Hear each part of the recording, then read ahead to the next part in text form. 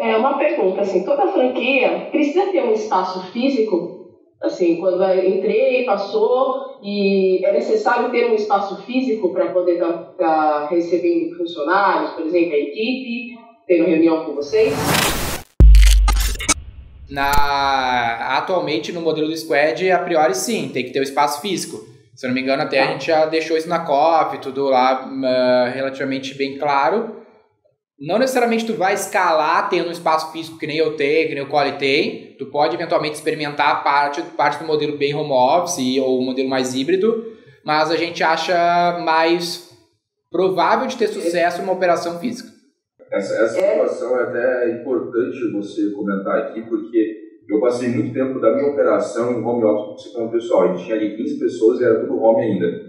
Só que você não cria aquela sensibilidade de, de equipe, sabe? Uh, todo mundo junto, equipe multidisciplinar, focada no resultado. São pessoas que vão estar trabalhando em casa ali, era isso, né? Então. Vai ser só um trampo. Você conseguir, é, você conseguir transparecer o propósito, esse é, o, esse é mais complicado. Então, quando a gente foi pro, pro Office, cara, é, a dinâmica de produtividade foi outra, né? E também a sensibilidade ali de todo, todo mundo junto em volta do resultado. Pessoal, não esquece de deixar o teu like e se inscrever no canal antes de ir pro próximo vídeo.